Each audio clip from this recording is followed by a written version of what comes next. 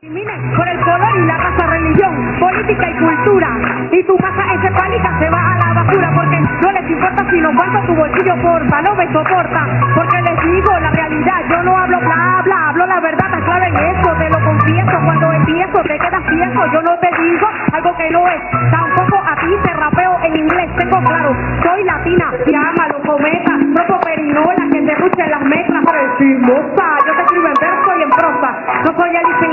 de las maravillas. Estamos claros, te portas mal, te acribillas, te hacen papillas, es que eso es obvio. O eres ángel o eres demonio, que vive el hip con las manos arriba.